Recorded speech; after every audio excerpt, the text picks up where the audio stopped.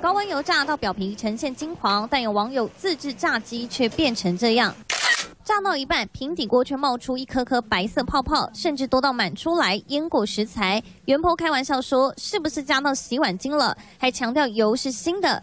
其他网友说：“看起来好像在煮蜜地瓜，还是在帮沙子洗澡吗？”推测的是食材有蛋白质才会冒泡泡。因为油脂在高温的油炸，或者是在做存放的时候，可能会因为高温或者是。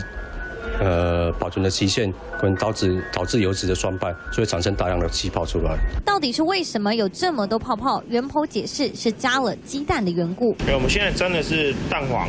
实际马鸡肉裹上蛋液下锅油炸。